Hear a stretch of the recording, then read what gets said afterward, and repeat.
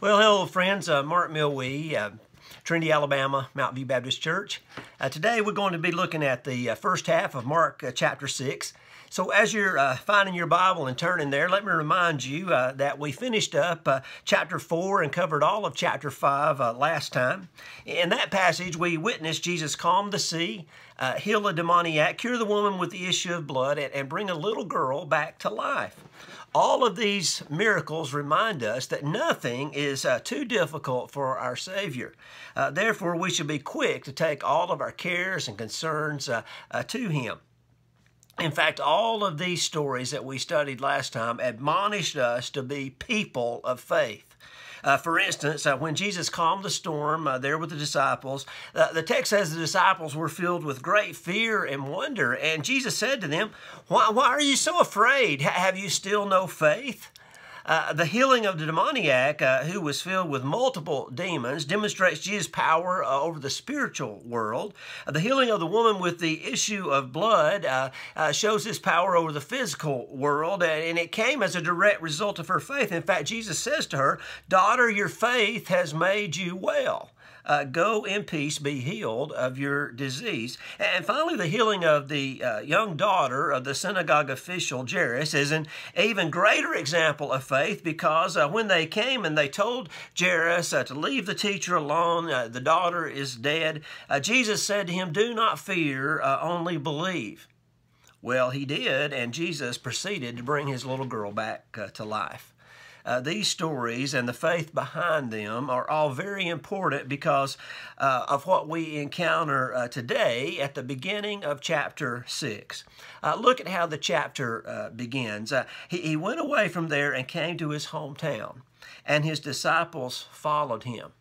So they left uh, Capernaum and they traveled over to Nazareth, which was about a 20 mile journey. It probably took about a full day uh, to walk to, to make this uh, trek over there.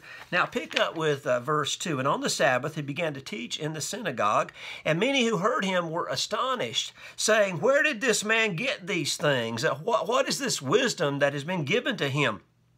Uh, how are such mighty works done by his hands? Is this not the carpenter, uh, the son of Mary, and the brother of James and Joseph and Judas and Simon? And are not his sisters here with us? And they took offense at him. Well, we're all familiar with that expression familiarity breeds contempt. In fact, I gave our lesson today that title. And we see an excellent example of it uh, here in these verses. The people in Jesus' hometown of Nazareth were not impressed with his wisdom or amazed by his miracles. Instead, they were filled with contempt and unbelief. Instead of rejoicing over the miracles and being amazed at his teaching, uh, they asked a series of contemptuous questions about where he got his credentials and, and how was he able to do all of these things. I, I like how one of my commentaries put it. It said, they knew him too well, but in reality, they didn't know him at all. Now look at Jesus' response, uh, beginning in verse 4. And Jesus said to them, A prophet is not without honor except in his hometown and among his relatives and in his own household. And he could do no mighty work there except that he laid his hands on a few sick people and healed them. And he marveled because of their unbelief. And he went about among the villages teaching. Again, unfortunately, they did not uh, appreciate his abilities, and the text says that Jesus marveled at their unbelief. It also says he could do no mighty work there because of their unbelief. Now, this doesn't mean that his power was limited by their unbelief. It means that their lack of faith prevented him from doing all the things he would have been happy to have done for them had they believed. It stands in sharp contrast to the calming of the sea and the healing of the woman with the issue of blood, the raising of the little girl from the dead, all in the previous chapter. Uh, in fact, someone put it this way they said, unbelief and faith are opposites. If faith is the capacity to receive what God wants to give, unbelief is the willful refusal to receive what God wants to give. The ESV Study Bible says this about this passage. It says, Jesus will not force his miracles on a hostile, skeptical audience. It stands in contradiction to the character and will of Jesus to heal where there is fundamental rejection of him or unbelief. It's also been pointed out that in verse 6, so where Jesus says, uh, where it says that Jesus marveled at their unbelief, or your translation might say he was amazed or astonished by their unbelief. This is one of only two times uh, this word is attributed to Jesus in the New Testament. The other time is found in Matthew chapter 8, where Jesus marvels or is astonished at the faith of the centurion, who, of course, was a Gentile. The text in Matthew 8, verse 10 says, uh, When Jesus heard this, he marveled and said to those who followed him, Truly I tell you, with no one in Israel have I found such faith. So the irony is, is, is very hard to miss. It's ironic that Jesus could marvel at the faith of this centurion who was a Gentile, while at the same time marvel at the lack of faith of the people in his own hometown. But it does bring up a good question. Can we become so familiar with Jesus that we lose our sense of wonder and amazement by the things that he does? In other words, does our familiarity with Jesus uh, decrease our faith? I think back to the story that I shared with you last time about the pastor that was teaching a group of refugees about Jesus calming the sea and, and their astonishment that Jesus was able to do this. They were just blown away by his ability to calm the storm. And you might recall that the pastor said, I suddenly realized that they grasped the full meaning of the story better than I did. We have a tendency, listen, if we're not careful, of missing the wonder and awe and beauty of the miracles and, all the events in the Bible because we are so familiar with them. So the first lesson today to take away to take away and apply to our lives is not to let our familiarity with Jesus cause us to miss the awe and wonder of Jesus. The fact that Jesus could calm the storm, heal the man filled with a multitude of demons, cure a woman who had been bleeding for 12 years, uh, bring a little girl back uh, to life. All of these events should strengthen our faith and cause us to be uh, amazed uh, and in awe of his majesty and glory. I think of the song that we uh, would often sing in the church uh, when I was younger. We sang, I stand amazed in the presence of Jesus the Nazarene and wonder how he could love me, a sinner condemned unclean. Oh, how marvelous, oh, how wonderful, and my song will ever be. Oh, how marvelous, oh, how wonderful is my Savior's love for me. Amen? Well, amen. Now let's look at verse 7.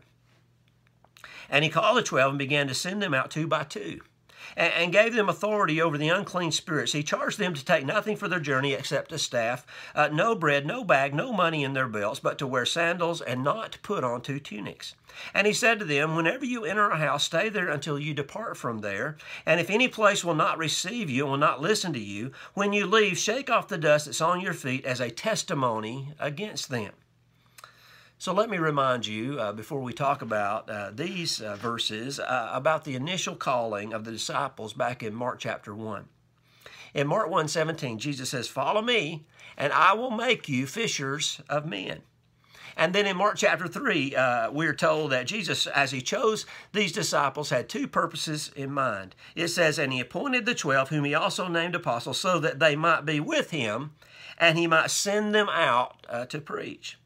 So they were selected with a plan in mind. Follow me, and I will make you fishers of men. But then this plan had a twofold purpose or a twofold pattern that was to be uh, followed. They were to spend time with Jesus and then go out and preach. Uh, this is God's pattern for discipleship. We're called to Him, uh, to be equipped by Him, and then we're sent out to be His representatives. In, in other words, we come in that we might go out. This has been God's plan from the very beginning. But the problem is we've stopped going out. Uh, my uh, preacher's commentary says someplace along the line of historical development, the church lost its identity as a pilgrimage and became a church in place. It then asks this question Has the church become a company of squatters rather than a caravan of pilgrims? What spiritual values have we lost when we quit moving? Are we fighting old battles and battering time worn barriers? These are significant questions because Jesus gives his disciples a personal model for their ministry. We come in to be equipped for ministry so that we can then go out and do the ministry. Uh, Christianity is a religion on the move. We are told to go, but most of us would rather stay. Most of our church growth problems would be solved if we would actually see the fields as white unto harvest and then go out in the fields and do something about it. This is what Jesus did with the disciples. Uh, so some might say, well, were they ready to go? Probably not. Did they want to stay with him? I'm sure they did. W were they fully trained? Uh, no, but there's some things you can only learn on the job. So Jesus paired them up and sent them out. But he didn't send them out empty handed. He sent them out with authority. I look again at verse 7. And he called the twelve and began to send them out two by two and gave them authority over unclean spirits. The word authority comes from a word that literally means the right to exercise power. So they watched Jesus cast out demons. Now he gives them the authority and or the power uh, to do the same. It should also be pointed out that we are being sent out with this same authority. Uh, Jesus introduces the Great Commission by saying, All authority in heaven and on earth has been given to me. Go therefore and make disciples of all nations. So we are being sent out with his authority. This is the exact same word that Jesus used with the disciples when he sent them out. So, so we're not going out in our own strength, but in the strength and authority of our Savior. Then, beginning with verse 8, Jesus tells them what to take with them, what not to take, uh, how to go about their mission. Uh, someone has pointed out that uh, the overriding principles that come out of these instructions are the principles of urgency and dependency. Urgency and dependency. We see the urgency of the mission in that uh, we're told not to waste time on those who are plainly not interested. Uh, look carefully at verse 11. And if any place will not receive you, and they will not listen to you, when you leave, shake off the dust that's on your feet as a testimony against them. The, the shaking off of the feet after traveling to a Gentile region was a common Jewish custom in Jesus' day. It symbolized removing the filth or sin from your life that you might have picked up by being uh, uh around these uh, people. However, Jesus takes this custom and gives it a new and a different meaning. It now represents a warning to anyone who rejects the good, news. It's no longer symbolic of removing sin or filth from your life, but it is symbolic of the judgment that will come upon those who reject the message of Christ. We actually see this principle in practice in Acts chapter 13 when Paul and Barnabas were in Antioch uh, uh, beginning with verse 44 of Acts 13, the Bible says, The next Sabbath, almost the whole city gathered to hear the word of the Lord. But when the Jews uh, saw the crowds, they were filled with jealousy and began to contradict what was spoken by Paul, uh, reviling him. And Paul and Barnabas spoke out boldly, saying, it was necessary that the word of God be spoken first to you. Since you thrust it aside and judge yourselves unworthy of eternal life, behold, we are turning to the Gentiles. For so the Lord has commanded us, saying, I made you a light for the Gentiles, that you may bring salvation to the ends of the earth. And when the Gentiles heard this, uh, they began rejoicing and glorifying the word of the Lord, as many were appointed to eternal life believed. And the word of the Lord was spreading throughout the whole region. But the Jews incited the devout women of high standing and the leading men of the city, stirred up persecution against Paul and Barnabas, and drove them out of that district. But they shook off the dust from their feet against them and went to Iconium. And the disciples are filled with joy and with the Holy Spirit. Now, I, I want to be careful in what I say here because I don't want you to misunderstand what I am trying to communicate. But sometimes, listen, we need to shake the dust off of our feet and move on. There are people out there who are eager to hear the gospel, just like the Gentiles in, in this passage I just read to you. So we need to go out there and find them. For instance, maybe you have a friend or a loved one that you've been trying to reach for years. I'm not saying that you should abandon your friend or give up on your loved one. You should keep praying and keep talking to them as God gives you the opportunity. But maybe God is saying it's okay to look around and see if there's someone else that you should focus some of your time and attention on.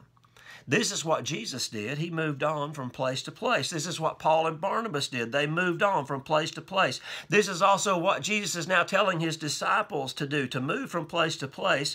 If that neighbor across the street will not listen to you, then talk to the neighbor down the street. There is a sense of urgency about the mission. So we don't have a lot of time to waste on people that don't want to hear the message, but there is also a dependency upon God that we see in these instructions. Uh, furthermore, the disciples were told to travel light and depend upon God. They were encouraged to trust God for their food and, and, and, their lodging and just get busy and go and do the work. They were sent out two by two so they could help each other and encourage each other. But they were, they were cast out and told to go. Now, you probably don't remember it, but it, I do because it really stuck with me back when we studied Mark chapter 3, verse 14, where Jesus gave them this twofold pattern of spending time with Him and then being sent out uh, by Him to preach. The, the word translated sent is, a violent word. It, it carries the idea of being thrust out, uh, like a mother bird pushing her babies out of the nest when it's time uh, to fly. She does this because if they stay in the nest, they'll never learn to fly. Being pushed out of our comfort zone forces us to depend upon God and listen, that's where the growth happens in our Christian life. And we have every reason to believe that this is exactly what happened with the disciples. Look at verses 12 and 13. So they went out and proclaimed uh, that the people should repent, and they cast out many demons and anointed with oil many who were sick and healed them. So if the goal of a disciple is to be like their teacher, then we can say that the disciples did a great job. They went out preaching a message of repentance. They, they also went out, excuse me, the Bible says casting out many demons and, and they anointed many of the sick and the Bible says healed them. Uh, excuse me, they were following the path uh, uh, set out for them uh, by Jesus. They were equipped for ministry and then they went out to do the ministry. So we need to follow uh, this uh, same pattern today. Now, look at the text beginning in verse 14. King Herod heard of it, for Jesus' name had become known.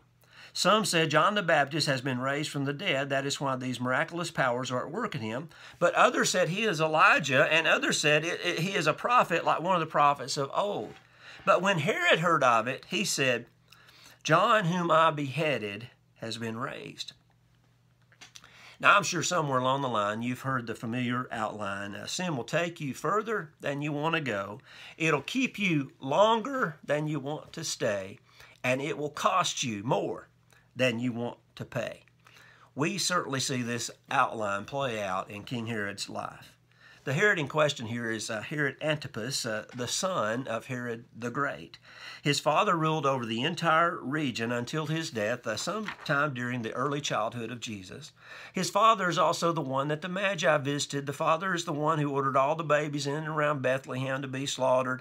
Uh, he is also the one who died, and the angel told Joseph it was now safe to return from Egypt, where he had fled with Mary and the baby. Uh, Herod the Great had already divvied up the land between his three sons before his death. Herod Antipas was over the region of Galilee and Perea. Judea and Samaria were ruled over by Archelaus, and the northeastern territories were given to uh, Philip. Philip was married to Herodias, but at some point his brother, Herod Antipas, decided that he wanted her for his wife.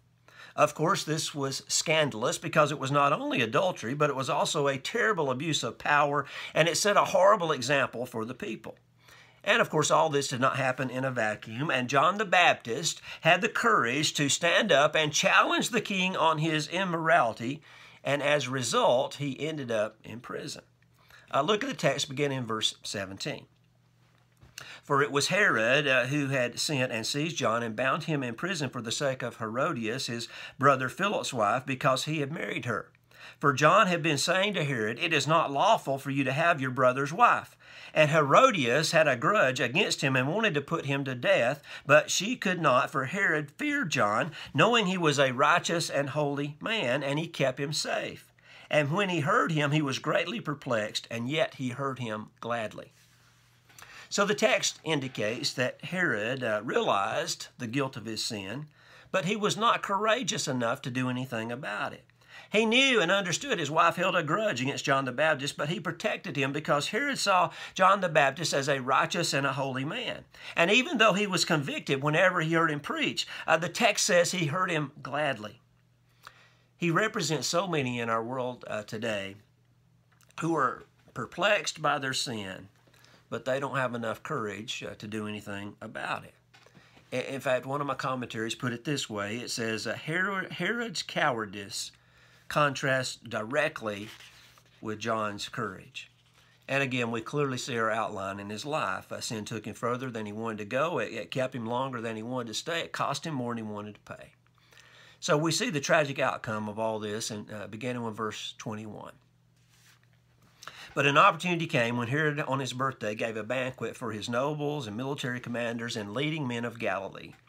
For when Herodias' daughter came in and danced, she pleased Herod and his guest, and the king said to the girl, Ask me for whatever you wish, and I will give it to you. And he vowed to her, Whatever you ask, I will give to you up to half of my kingdom. And she went out and said to her mother, What should I ask for? And she said, The head of John the Baptist. And she came in immediately with haste to the king and, and asked, saying, I want you to give me at once the head of John the Baptist on a platter. And the king was exceedingly sorry.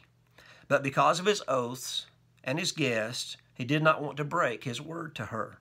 And immediately the king sent an executioner with orders to bring John's head. He went and beheaded him in prison and brought his head on a platter and gave it to the girl, and the girl gave it to her mother. When his disciples heard of it, they came and took his body and laid it in a tomb. We're all familiar with this story. We, we've all heard of it. Uh, we, we know uh, uh, about it. Uh, but the tragedy of it all is that John the Baptist, the, the man Jesus once said had no equal, died simply because Herod did not have the courage to swallow his pride in front of his nobles and military commanders and the leading men of Galilee. He could have taken back his rash vow.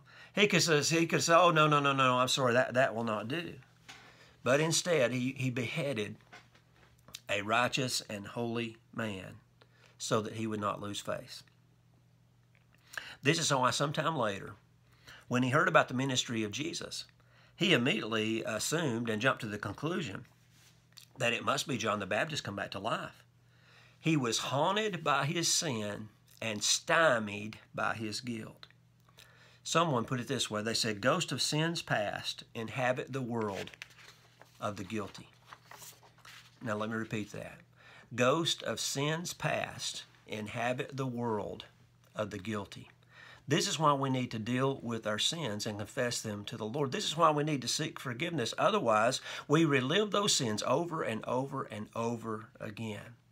This is the tragedy of Herod's life, and unfortunately, the lesson that he never learned.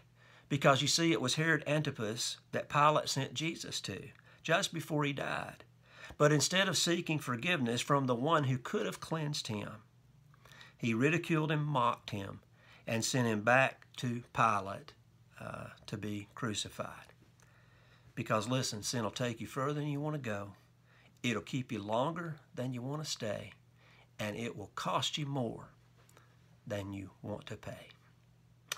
Well, thank you for watching today. May God bless you.